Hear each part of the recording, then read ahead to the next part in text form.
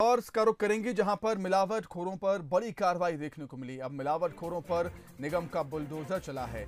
अवंतिका नगर में निगम की कार्रवाई शुरू हुई है। सांवरिया फ़ूड प्रोडक्ट के कारखाने पर भी अवैध निर्माण को तोड़ा गया। खराब आलू में केमिकल मिलाकर चिप्स यहाँ पर बनाए जा रहे थे। नगर निगम, पुलिस प्रशासन, जिला प्रशासन की ये संयुक्त कार्रवाई है।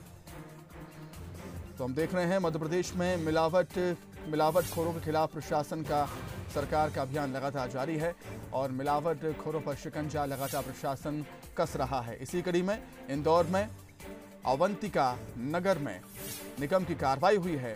सावरिया फ़ूड प्रोडक्ट के कारखाने पर प्रशासन ने कार्रवाई की। यहाँ पर खराब आलू से केमिकल मिलाकर चिप्स बनाए जा रहे थे। नगर निगम, पुलिस प्रशासन, जिला प्रशासन की एक सख्त कार्रवाई।